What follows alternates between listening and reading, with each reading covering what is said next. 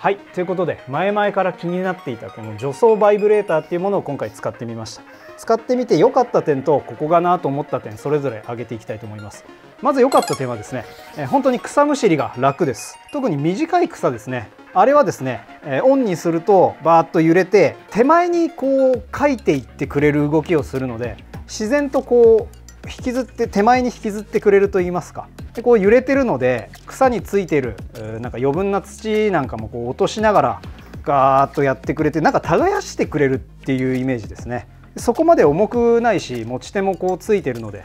こう草かきしやすいです。あとはあこの辺りのスイッチもですね安全装置この赤いやつを押して前に押さないとこうスイッチが入らないようになってたりとか安全面も配慮されてますね。でこういったアーレンキーもこう内蔵式でこうついてるのですぐにここの、えアタッチメントを取り替えることができます。なんかアタッチメントも複数出てるっぽくてですねこれの他にもなんかブラシタイプのものとかさらにちっちゃい草なんかをこうこそげ落とす用のまあなんかそういうアタッチメントもあったりするのでここも豊富っていうところですね。あとはですね動画の最後に実験したんですけどこういったポータブル電源。今回は DJI のパワー500っていうこのポータブル電源を使ったんですけど。こういったポータブル電源に介して使用することもできます。最後にちょこっとしかやってないんですけど全然バッテリー減ってないですね。まだ100%のままなのでこういった容量の少ないポータブル電源であっても相当長い時間これ草むしり、えできるんじゃないかなと思います、まあ、ここがなと思った点はですね、えー、まずこれコードが、まあ、こう見て分かる通りこの本体から出てるやつがかなり短いんですよ。延長コードを使って、まあ、こうポータブル電源と接続して使ったりとか最初にやった黄色いコードで家とか作業場からこうコンセントを引いて使うっていうところでコード式なので取り回しが悪いかなっていうところですね。本当にこれ短いので絶対に延長コードはあった方がいいと思います。あとはですね一番ここかなと思ったのが強度ですね、えー、こここの六角のボルトとそのピンの2箇所で止めるっていう風になってるんですけどこのピンの方がですねあの使ってたらどっか飛んでってなくなっちゃいました。はい。裏見るとですねなんか溶接の跡があったのでその溶接が弱いのかな。しかもこれがですねあの Amazon のレビュー見た時もこれ書いてあって自分のえこの個体にもこれが起きるとはちょっと思ってなくてですね。接続部分の強度が弱いっていう。これは正直メーカーさんにはちょっとすぐにでも改良してほしいところでありますね。ちょっとこれ今回自分が悪かったのかもしれないんですけどあんまり攻めすぎるとさっきみたいにちょっとピンが欠けちゃったりとかですね。根の張りすぎた草には向いてないんだけどクローバーとかですね。タンポポみたいなそういう雑草には本当にこれ効果的でさっきちょっと使ったあの先っちょが三角形になってるこういう草かきとか、まあ、こういうやつですねこういうので何度もやる必要がないのでこの部分は本当に使いやすいので、うん、ちょっとここですね強度はもうちょっとどうにかしてほしいところであります。まあ、これ結構ホームセンターとかにも売ってて見かける機会も多くて気になってる方多いと思うんですけど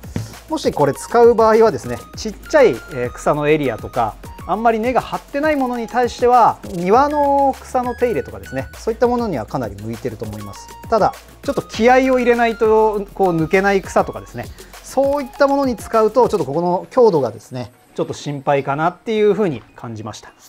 はいまあ、使ってみてここかなと思った点はそんなところですかね。はい、ここが壊れちゃったのは残念なんですけどちょっと溶接するなりでちょっとここ修理して、えー、またちょっとリベンジしたりとかちょっといいアイデアが浮かんだのでちょっとこれいろいろ改造して使ってみようと思います。はい、ということで今回は、えー、武蔵の除草バイブレーターを使ってみたっていう動画でした。最後までご視聴いただきありがとうございました。また次の動画でお会いしましょう。それでは。